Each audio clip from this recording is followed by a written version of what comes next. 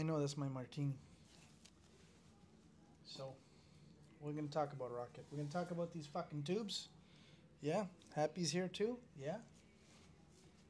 Yeah, I'm not gonna drop you on TV here, right? Yeah, I know it's my martini. You're not having it. Yes. I know. Smells good. Tastes even better. Yes. Why? You want to go down? All right. All right. All right. Big hugs. Big hugs to the camera. I got the good one. I got the good one. Yes, me. I got the good dog.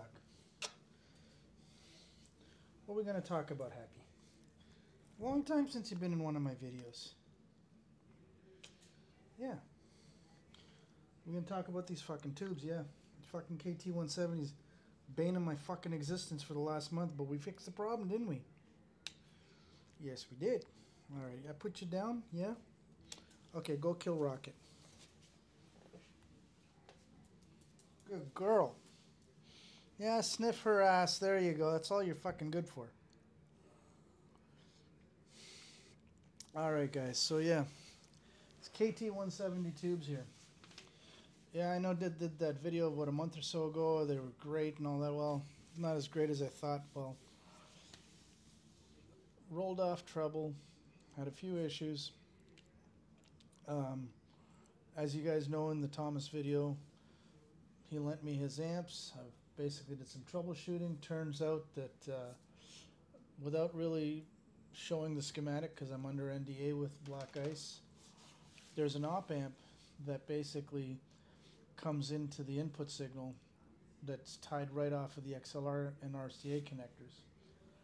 Well, I guess Jim Fosgate used the TL52 op amp, which is what 30 plus years old, 35 year old uh, design. There's nothing wrong with it back in the day, and obviously it works fine for their products as it stands right now. I mean, I put KT88s or 6550s in these amps, and beautiful treble, mid range, all that good stuff.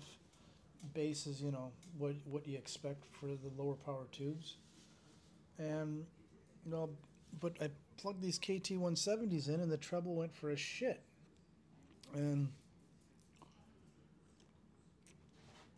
Oh, that's a good martini. So, last week, I grabbed the schematic, said, all right. And I've got some old OPA 627 op amps.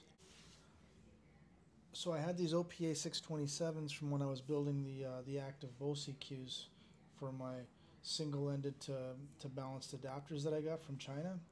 Again, another Douk Audio Black Bear product and they worked great.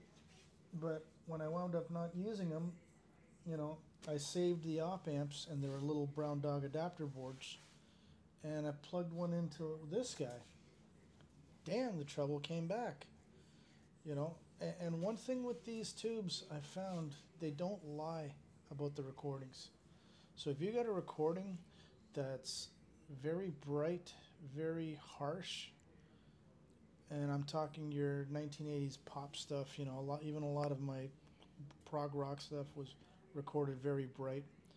Um, whether or not they were digitally recorded on Sony recorders at the time, I'm not sure. But anyhow, um, at the same time, a lot of your 70s stuff that's kind of got a more lush or warm kind of, you know, 70s, I guess, sound to it they're a little more rolled off here where the mid range is heavy, bass is super deep, the upper mid range and the treble region can be a little soft on those types of recordings, but feed this thing any kind of high energy, you know, very high frequency type content, and it's just amazing. Um, so yeah, that's basically what I was fighting with for the last uh, month was getting these things to sound good. And like I said, it was the op amp that did it. Now, going forward, if I ever have to change them out again, those OPA 627s used to be 28 bucks a pop at Mouser, and I think they're discontinued now by TI. Again, that used to be an analog devices um, part. That the replacement for that now is the two channel version is the 2828 OP, yeah, OPA two eight two eight, and the single channel version is the OP eight two eight. And the brown dog boards that I had, basically you could put two of those six twenty seven As on there, which gave you the two channels and had the nice eight gold pins, and you were off to the races. So yeah, if anybody's running these things on a black ice amp, KT one seventies, you may want to talk to Jared over at the factory and ask him about this op amp mod if you're having trouble with the treble.